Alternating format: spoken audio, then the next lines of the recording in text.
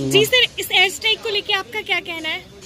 मैं इस air strike को लेके ये कहना चाहता हूँ कि पिछले दिनों में जो पाकिस्तान ने हमारे साथ यहाँ हमारे जवानों के साथ ज़्यादा की थी यहाँ एक बहुत बड़ा इन्होंने जो एक अटैक करके जिसको आतंकवादी हमला करके हमारे चालीस जवानों को मार दिया था और हमारे देश ने इसको रिवर्ट करना ज़रूरी था। अगर हमारे देश की सेना ने ऐसा किया है ऐसा किया जैसे कि हम वीडियोस देख रहे हैं कि वहाँ पे बम्बार्डिंग की है तो जितनी देर इनका इनको जवाब नहीं देते तो इन्होंने और सिर सिर चढ़ देना था। हम ऐसा नहीं चाहते कि कल हमारे देश के प्रति आवाज़ उठाए। अगर ऐसा कुछ हुआ तो बिल्कुल ठीक हुआ है और ऐसा करना भी चाहिए था। क्योंकि हम जिस देश में रह रहे हैं जिस देश की खा रहे हैं तो वो सहमत जो है हमारी सुरक्षा के लिए है। तो हमारे जवानों पे या हम लोगों पे आगे कोई ऐसी बात बनेगी तो उसका जवाब देना हमें ज़रूरी है। जी मैम ये जो एयर स्ट्राइक की है इंडिया ने पाकिस्तान पर इसको लेके आपका क्या कहना है? मैम, ये तो बहुत ही अच्छा हुआ। हम तो काफ़ी देर से इसका इंतज़ार कर रहे थे क्योंकि काफ़ी जवान हमारे मारे गए और जो यहाँ पे जे के में हालात बने हुए हैं तो सभी ये लोग ये भी चाहते हैं कि जो होगा आर पार की लड़ाई होगी। जो जिएगा कम से कम वो तो चैन के साथ जिएगा ना। हम तो यही चाहते हैं कि इससे ज़्यादा बढ़कर वो सारी तबाही हो जाए, जो ये मिलिटेंट ग्रुप है। हम आम लोगों के खिलाफ नहीं है, जो मिलिटेंट्स हैं, जो हमारे अपोजिट हैं इंडिया क्योंकि हमने तो हम तो शादी प्रस्त है, हमारे जो प्रेसिडेंट जो प्राइम मिनिस्टर है, वो बहुत अच्छे हैं। लेकिन अब हद हो चुकी है, आप देख चुके हैं कितने जवान मर गए, उनकी फैमिलीज़ को देखिए छोटे छोटे बच्चे रह गए। अब जी जंग तो होनी चाहिए, उनको एक टाइम दिखा दें कि इंडिया क्या चीज़ है, उनको पता चलेगा। और हम लोग बहुत खुश हैं, जो होगा, जो बचेगा, वो तो ठीक से रहेगा। इसलिए तो मुझे लगता था बहुत पहले कर जाना चाहिए था, क्योंकि जम्मू कश्मीर एक ऐसी चीज़ है जिसपे इन्होंने इतनी लड़ाई लगाई है। है तो चैन चैन से ना तो खुद जीते हैं, ना हम ही जीने देते हैं। अब ये बहुत अच्छा हो गया और आगे भी हम सब इसके लिए तैयार हैं।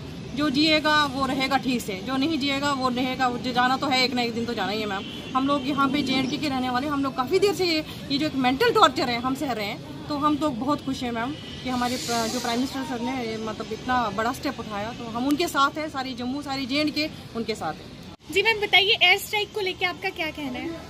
मैम एयर स्ट्राइक सुन के आज सुबह हमें बड़ी खुशी हुई। ये बहुत ज़रूरी था जो होना चाहिए था क्योंकि हमारे सैनिक इतने मर चुके हैं। इन्होंने पार्लियामेंट अटैक छब्बीस ग्यारह का अटैक हमारे कारगिल का युद्ध और अभी उड़ी में अटैक अभी जो हमारे सीआरपीएफ में जो 40 जवान 40 के अभी तो 48 हो गए।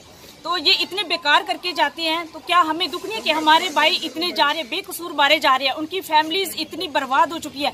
इस समय तो सारे आते हैं कि हाँ थोड़ा सा डंडास बंधा दे, बंदवा देते हैं कि हाँ नहीं चलो शहीद हो गए। लेकिन जिनके घर से बंदे जाते हैं उनको पता है उनकी फैमिलीज़ को उसके बाद कोई पूछता तक नहीं है। हाँ जब हमारे सैनिक मरते हैं तो पाकिस्तान में बड़ी ईद मनाई जाती है। खुशियाँ मनाई जाती हैं। तो आज हमें भी एक दिवाली की तरह हो गया। तो हम बहुत खुश हैं। मेरे हस्बैंड खुद एयरफोर्स में तो मैं चाहती हूँ ये सफाया होना चाहिए। कि हमारी फौज इतनी डरी हुई है, हमारी फौज का जो है वो तो पूरे संसार में एक हमारी आर्मी मानी जाती है। जो भी डिफेंस है, चाहे आर्मी है, नेवी एयरफोर्स में, ये सबसे आगे है। तो इसलिए हमें आज बड़ी खुशी हो रही है कि हम तो चाहते हैं कि जो बिल्कुल सफाया होना चाहिए। ठीक है, हमें थोड़े पाकिस्तान की पब्लिक से हमें कोई शिकायत नहीं है, आर्मी से कोई शिकायत नहीं हमें मिलिटेंट से है। तो अगर वो हमारा सफाया करना चाहते हो तो इसका बदला हम भी देना चाहते हैं, हमें भी हमारी आर्मी एयरफोर्स नेवी को सबको जवाब देना आता है। तो आज हम बड़े खुश हैं, हमारे लिए भी दिवाली है आज। जी, सर, ये जो एयर स्ट्राइक हुई है इंडिया द्वारा, इसको लेकर आपका क्या कहना है? देखिए सबसे पहले तो मैं मुबारकबाद देना चाहूँगा। सबसे पहले मैं सारे हिंदुस्तान मतलब जो भी हमारा ये पुलवामा का जो अटैक हुआ है, जिसमें हमारे चौतालीस से पचास के बीच जितने भी जो हमारे आर्मी पर्सनल जो पैरामिलिट्री फोर्सेस के जो मारे गए, ये सबसे बड़ा जवाब है उस मिलिटेंट जो उग्रवाद को।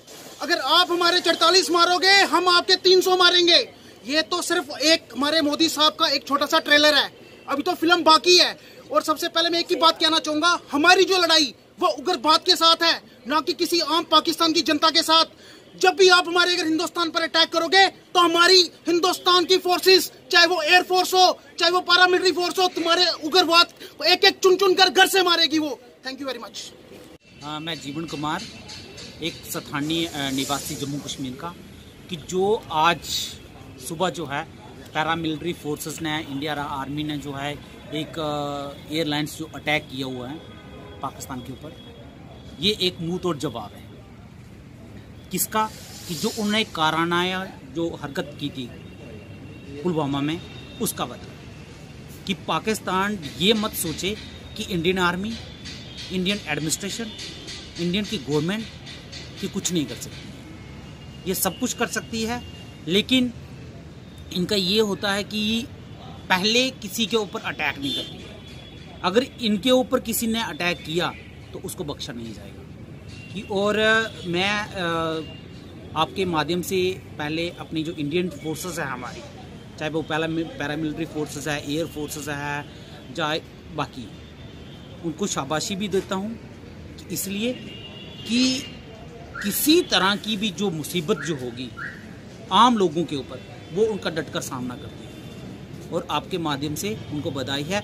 और पाकिस्तान ये मत सोचे कि इंडियन आर्मी कुछ नहीं कर सकती है। ये सब कुछ कर सकती है, लेकिन ये तब तक चुप बैठती है जब तक इनको कोई उकसाएगा नहीं, उनको कुछ छेड़ेगा नहीं, और इसका जो भरपूर जो है वो जवाब देना भी जानती है। और आप पाकिस्तान समझो कि ऐसी गलती दोबारा मत करना।